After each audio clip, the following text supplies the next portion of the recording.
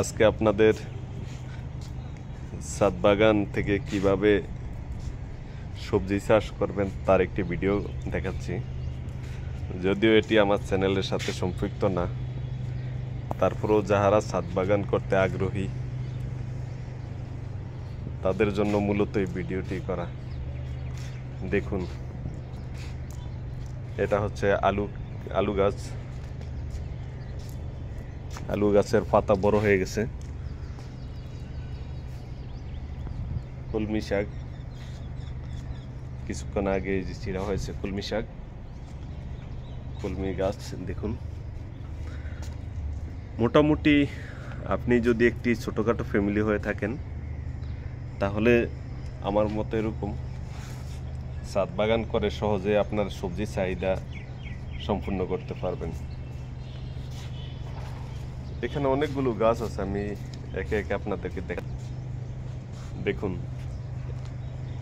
একটা এখানে লাগানো হয়েছে মিষ্টি কুমড়া গাছ বড় হয়ে গেছে। দেখুন। এটা হচ্ছে পুঁই শাক।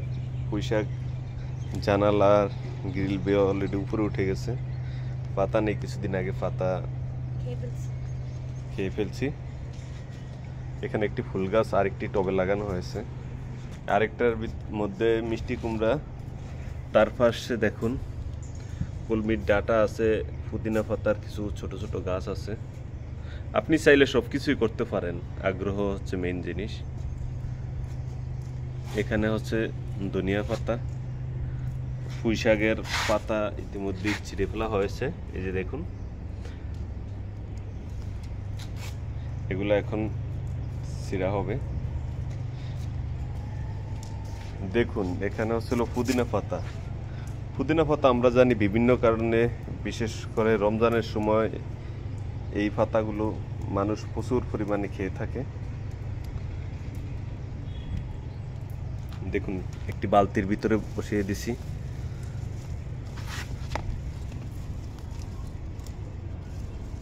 অনেক গাছ। পুদিনা পাতার পাশে বসলে অন্যরকম একটা অনুভূতি চলে আসে। আপনি চা দিয়ে খেতে পারেন বা মুড়ি দিয়ে যখন আপনি ইফতারির সরঞ্জাম যেগুলো আছে, পেঁয়াজু, বুট মুড়ি দিয়ে আপনি মুড়ি বানানো হয়, তখন পুদিনা পাতা খুবই উপকারী। আলুর চপের সাথে মূলত এটি দেওয়া হয়ে থাকে। দেখুন, পুদিনা গাছ জাস্ট আপনি যদি দুটো বাজার থেকে ডাল কিনে এসে মাটির সাথে লাগিয়ে দেন, তাতে হয়ে যায়। জটিল কিছু না। অবশ্য পানি দিতে হবে রেগুলার এখানে অনেক গাছ আছে, দেখুন। রজনীগন্ধার স্টিক ইতিমধ্যেই একটি রজনীগন্ধার শাখা ফুটে উঠেছে। বিভিন্ন গাছ আছে। আরেকটি দেখুন। টবের মধ্যে কমলা গাছ হয়ে গেছে।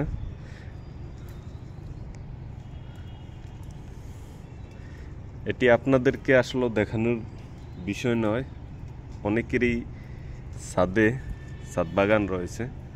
দেখাচ্ছি যাদের নাই, তারা আগ্রহ সহকারে যেন কমলা গাছ বা বিভিন্ন গাছ আপনি রোপণ করতে দেখুন, আরেকটি টবের মধ্যে লাগানো হয়েছে অপরাজিতা গাছ। অনেক সুন্দর। নয়নতারাও আছে এখানে। এই যে দেখুন, নয়নতারা। নয়নতারা রয়েছে এখানে আরেকটু ছোট টবের মধ্যে। রজনীগন্ধা লাগানো হয়েছে। এই যে আরেকটি গাছ দেখতেছেন, কলাবতী গাছ। কলাবতী গাছটি বড় হয়ে যাচ্ছে। এখানে আমার বারান্দাতেও আরও কিছু গাছ লাগানো হয়েছে। এটি হচ্ছে মালবেরি বা তুত গাছ। আমরা জানি রেশম ফোকা এগুলোর থেকে মূলত তৈরি হয়ে থাকে। এই পাতা খেয়ে তারা বেঁচে থাকে। রাজশাহী অঞ্চলে এই গাছের চাহিদা অনেক। তবে এই মালবেরি ফল বাজারে প্রচুর চাহিদা। আপনি চাইলে এই গাছ জাস্ট ডাল কেটে এনে লাগিয়ে দিলে হয়ে যায়, জটিল কিছু নয়। এখানে একটি ছোট আমরা গাছ, দেখুন, ছোট্ট টবের মধ্যে পানি দেওয়া হয়েছে সকালে।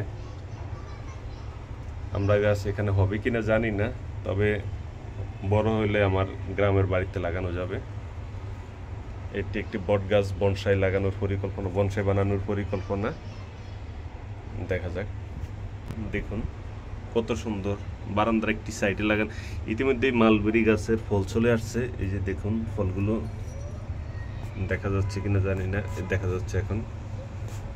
এই যে ফল চলে আসছে। আর একটি ডালও দেখা যাচ্ছে, ফল চলে আসছে। এই গাছটি দেখতেছেন? পলাউ গাছ। অনেকেই গ্রাম অঞ্চলে নাম জানে পলাউ পাতা থেকে আপনি পোলাওর গ্রান পাবেন সুন্দর। সর্বশেষ আপনাদেরকে যেটি দেখাবো, তা হচ্ছে এই গাছটি। এটা অনেক দূর থেকে আনা হয়েছে। সুদূর মুম্বাই থেকে আনা হয়েছে এই গাছটি। অনেক কষ্ট করে এই গাছটি আনা হয়েছে। গাছটির নাম লিলি। বড় হয়ে যাচ্ছে। কিছুদিন আগে যখন ইন্ডিয়া গেছি, তখন এই গাছটি মূলত আনা হয়েছে। দেখা যাক সব কিছুই বড় হচ্ছে ধীরে ধীরে। তো আপনি চাইলে একটি বাসায় বা বাড়িতে যেখানে থাকুন না কেন, এরকম আপনি তৈরি করতে পারেন। তবে যার হাত ধরে এগুলো মূলত আমার গাছগুলো অবশ্য আমার গিন্নির হাতেরই তৈরি। আমি জাস্ট গাছ দেখানোর জন্য ভিডিও করছি। সবাই ভালো থাকবেন এবং বেশি বেশি করে এখন জুন মাস পরিবেশ রক্ষার জন্য আপনার বেশি বেশি করে জুন মাসে গাছ লাগাবেন পরিবেশ রক্ষার জন্য। সবাই অন্তত একটি হলো গাছ লাগাবেন, দুটি হলো গাছ লাগাবেন। আপনার বাড়িতে আঙ্গিনায় যেখানে পারেন একটি ফলের গাছ লাগান। সবাই ভালো থাকবেন এবং এই ভিডিওটি আসলে আজকে সমসাময়িক, তেমন কিছু বলার নেই। আমি আপনাদেরকে গাছগুলো দেখানোর জন্য মূলত ভিডিও করেছি। সবাই ভিডিওটি শেয়ার করুন। আপনি কি গাছ লাগাবেন বা কোনো গাছ যদি আপনি তথ্য জানতে চান, কমেন্ট করে জানিয়ে দিন। আশা করি উত্তর দেওয়া হবে। সবাই ভালো থাকবেন। আসসালামু আলাইকুম।